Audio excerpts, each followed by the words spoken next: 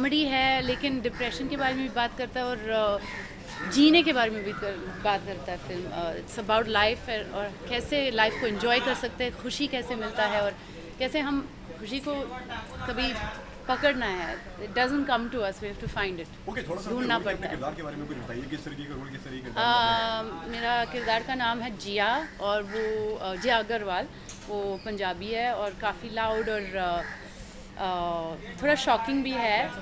पागल है थोड़ा वो बहुत हंसती है और नोटी भी है कभी you know she she does things which सबसे ज़्यादा she lives in the moment उसको जीना बहुत पसंद है and I think that's that's the quality that she has okay film के अंदर एक एक नए कलाकार भी आए हैं। उनके बारे में बताइए उनके साथ में कैसा काम कर रही है अरसलान गोनी बहुत इंटरेस्टिंग एक्टर है। आई थिंक वो पहले तो उसका हिंदी बहुत अच्छी है और मेरे लिए बहुत ट्रेनिंग किया था वो मुझे, मेरी हिंदी ठीक करता था बट उसका किरदार भी बहुत सटल है एक ही plays this rich south Indian mix Swedish boy who you know is an artist broody moody. So it's a very very nice character that he plays. आपका कैरेक्टर काफ़ी नॉटी दिख रहा है मूवी में। जो हमें जब दिखते नहीं कितना डिफ़िकल्ट रहा? Shoot करना? Uh, शूट करने में बहुत मज़ा आया। Uh, हमको मौका नहीं मिलता है इतनी नोटी बनने के लिए। थैंक यू थैंक यू अब मेरे लिए बहुत स्पेशल है क्योंकि मैं एक अलग किरदार ट्राई कर रही हूँ। इसमें बहुत रिज़र्व आप सब मुझसे मिल चुके हैं मैं खुश और चुलबुली रहती हूँ। इस फ़िल्म में बहुत सड़ियल और ओए! इस फ़िल्म में बहुत एक सड़ियल, खड़ूस लड़की का कैरेक्टर है, पर उसके पीछे कोई राज है, एक ट्रेजेडी है। तो मुझे बहुत मज़ा आया। कल की मेरी मित्र भी हैं तो उनके साथ काम करने में बहुत मज़ा आया। और स्वीडन बहुत अच्छी जगह है, खूबसूरत जगह है। वहाँ शूटिंग करने में बहुत बहुत इन्जॉय किया हमने। ओके मूवी के अंदर जैसे कि नए कलाकार भी आए हैं उनके बारे में बताइए कैसा एक्सपीरियंस था उनके साथ अरसलान उनका नाम है अरसलान गोनी। अ, वो बहुत ही अच्छे एक्टर हैं और इस फ़िल्म में अ, हमें कभी नहीं लगा कि वो एक नए एक्टर हैं। हालाँकि कल की और मैं दोनों स्टेज भी करते हैं फ़िल्म भी करते हैं कभी ऐसा नहीं लगा कि वो स्ट्रगल कर रहे हैं। हमेशा अपनी काफ़ी प्रोफेशनल अपनी लाइंस याद करके आते रिहर्सल करते। आई होप उनको इस डेब्यू के बाद काफ़ी सारा काम मिले। तो स्टूडेंट की कोई मेमोरी शेयर कर सकते हैं? क्योंकि आपने किसी ने कहा है कि काफ़ी एंजॉय किए हाँ। स्वीडन में हमने बहुत इन्जॉय किया। क्या है, हम यहाँ इंडिया में हम लोग ज़्यादा नाइट क्लब वगैरह में नहीं जा पाते ना। हमें लगेगा कोई ऐसे मस्त होकर डांस कर रहे हैं तो कोई ना कोई वीडियो निकाल लेगा। या आप में से कोई आ जाएगा। तो हम घबरा जाते हैं, इसलिए हमने वहाँ बहुत इन्जॉय किया। ट्रेलर में करती हूँ कि प्यार करती हूँ, तुम सबसे, आते ही मैंने गाना गाया। शर्म नहीं आती ये बोलती तुम्हें। अच्छा रिचा इसके अलावा जो इन दिनों जो है कंटेंट ओरिएंटेड फ़िल्में काफ़ी अच्छा कर रही है और हाँ। जो बड़े स्टार्स फेल हो रहे हैं तो इस बात को लेकर क्या कहना चाहेंगे? क्योंकि अ, जो आप हमेशा से कंटेंट ओरिएंटेड फ़िल्में करते हैं। हम्म, देखिए कितनी ओए यार। पहले से। तुम लोग मतलब दोबारा बोलती हूँ एक्चुअली ये होना ही नहीं चाहिए कि किसी किसी फ़िल्म को आप बोलें कि ये इसमें कंटेंट स्ट्रांग है।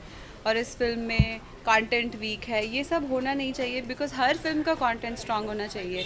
अभी हमारी इंडस्ट्री सफ़र कर रही है क्योंकि लोग हर चीज़ में इन्वेस्ट करते हैं, पर राइटिंग में इन्वेस्ट नहीं करते स्क्रिप्ट में इन्वेस्ट नहीं करते। राइटर्स का स्टीरियोटाइप ही है कि झोले वाला, घिसी चप्पल वाला, कोई दुखी, बीमार आदमी जो फ़िल्म के लिए स्क्रिप्ट लिख रहा है। मुझे लगता है सबसे पहले राइटर्स डायरेक्टर्स इन सब चीज़ों में इन्वेस्ट करना चाहिए, तभी इंडस्ट्री का ओवरऑल हाल सुधरेगा। थैंक यू वाइब्स हैं यहाँ पे। ये तो काफ़ी हैप्पी फ़िल्म है ना? वो बीच में जो आपने थोड़ा सा पार्ट बोला है। हाँ वो एक थोड़ा सा उसमें है एक एक बैक स्टोरी है तो उसको थोड़ा सा वो पता है। बट वो अगर आपको मैं बता दूँगा तो फिर प्रॉब्लम हो जाएगा। स्लाइस ऑफ़ लाइफ फ़िल्म है। कहानी बेसिकली दो लड़कियों की है, रिचा और कल की, जो दोनों प्ले कर रहे हैं। और वो स्वीडन आते हैं एक हॉलीडे पे। और वो वहाँ पे एक लोकल आर्टिस्ट को मिलते हैं, जो मैं प्ले कर रहा हूँ। वासु है उसका नाम। और वो कॉकटेल है। हाफ़ स्वीडिश है हाफ़ साउथ इंडियन है। और इन दोनों लड़कियों को, उसको ज़्यादा दुनिया से कुछ लेना देना नहीं। वो इन दो लड़कियों को देखता है और वो ये समझने की कोशिश करता है कि किस थॉट प्रोसेस के साथ ये दोनों हैं। और दोनों के थॉट प्रोसेस बहुत अलग है।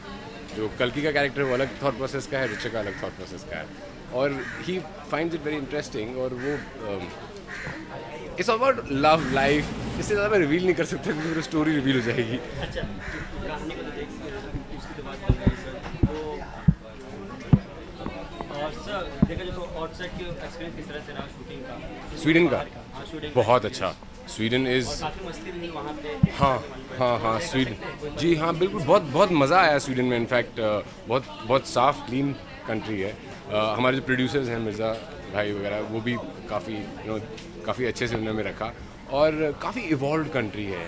हमसे मतलब हमसे नहीं बट काफ़ी वहाँ के लोग जो टेक्नोलॉजी और इसकी तरफ़ ज़्यादा ध्यान दे रहे हैं उनकी जो इनफैक्ट जो पूरा स्कैंडिनेविया है वो वो लोग काफ़ी टेक्नोलॉजी और यू नो इन चीज़ों के ऊपर ध्यान देते हैं बाकी चीज़ें उनको ज़्यादा मैटर नहीं करती।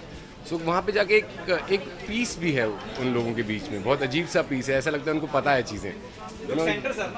उनको ऐसा लगता है कि पता है उनको चीज़ें। सर ठीक है अभी? मैं अब बहुत नर्वस हूँ बहुत एक्साइटेड हूँ डेब्यू कर रहा हूँ। लकी भी फील करता हूँ कि इन दो uh, इतनी अच्छी एक्ट्रेसेस के साथ डेब्यू कर रहा हूँ और एक बहुत बहुत अच्छी फ़िल्म में डेब्यू कर रहा हूँ। So yeah I am very happy but I get nervous a lot nowadays आजकल थोड़ी सी नर्वसनेस बढ़ गई है